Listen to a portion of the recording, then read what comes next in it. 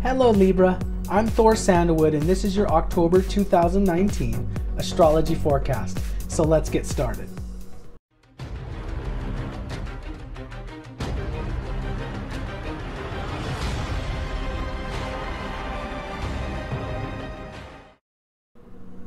At the beginning of the month, Sun, Mars, and Venus will be transiting your 12th house of Virgo.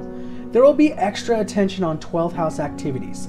This is a great time to meditate and get in touch with your spirit guides. You may also have added intuition because the 12th house is the astral bridge. Or simply there may be a desire to stay at home away from prying eyes. This is good because it gives you time to reflect and to heal.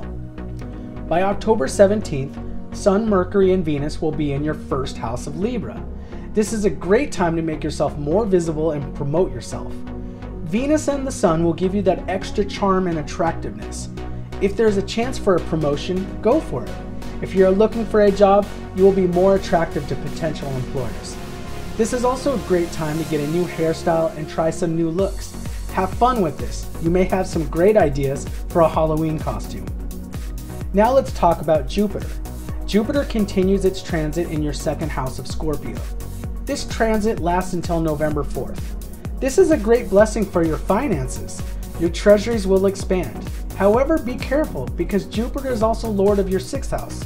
Your enemies will be jealous of you and you might be tempted to get yourself in more debt instead of being frugal and expanding your bank accounts. Now let's talk about the planet Saturn. Saturn continues to transit your third house of Sagittarius. This transit will last until January of 2020. You might have problems with coworkers at the office. It also might disrupt your communications with others. You might feel oppressed by constant meetings and busy schedules, but take heart, this won't last forever. Saturn is also aspecting your 5th house and your 12th house. Love and romance might not come easy. You may face many obstacles as far as dating is concerned. You also may have issues with fertility. If you already have children, you may find increased responsibilities regarding them. The key to Saturn is patience and endurance. Rahu continues to transit your ninth house of Gemini. Rahu is the shadow planet of karmic desire. You will find increased desire to be around gurus, priests, teachers, and other agents of higher teachings. You also might find a desire to learn more from your father. Rahu isn't entirely bad. He will help you break free of any limitations you have put on yourself with higher teachings and Dharma. So go with the flow and learn a few things on the way. Alright, that's all for Libra for the month of October. If you like this video, please give it a thumbs up and please make sure to subscribe to my channel for more predictions for the upcoming months.